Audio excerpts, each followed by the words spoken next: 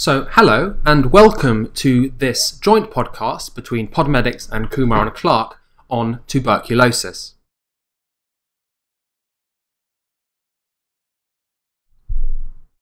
This podcast is brought to you in association with Kumar and Clark's Medical Management and Therapeutics, published by Elsevier.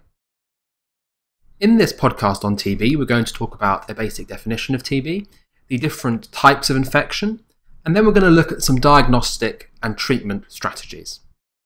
So let's kick off with a good definition. Tuberculosis is a systemic granulomatous disease caused by Mycobacterium tuberculosis.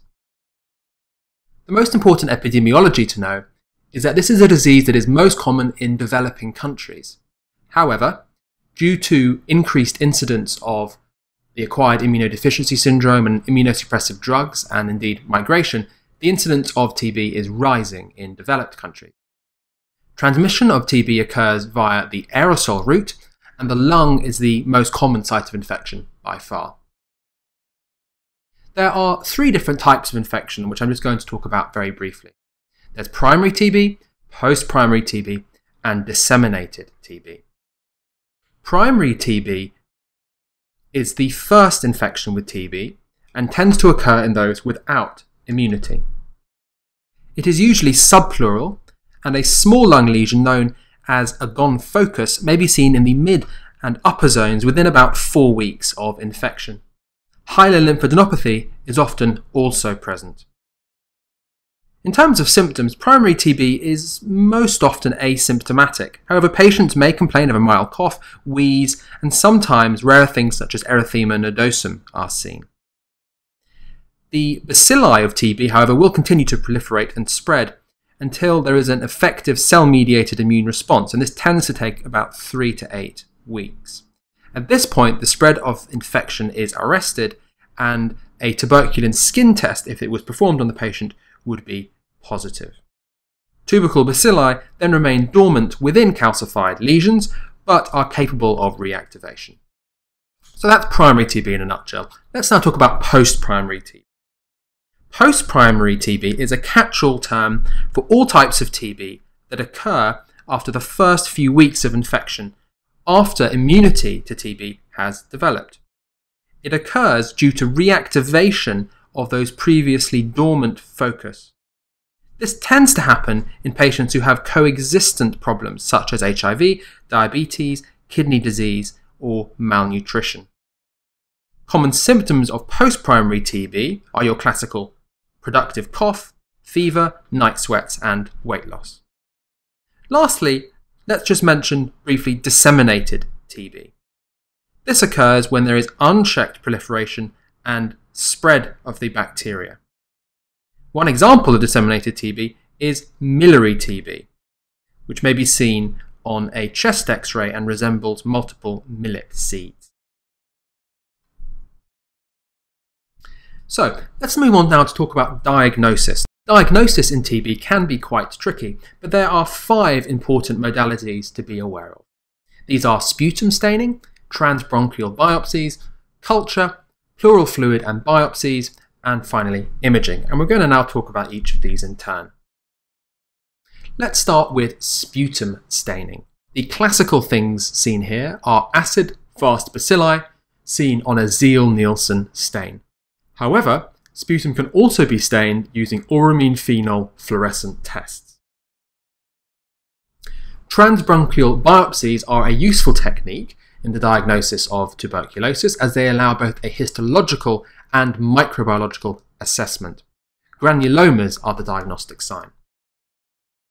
Culturing TB can be fairly challenging, and culture can be achieved either on Ogawa or Lowenstein Jensen medium, but typically takes 4 to 8 weeks.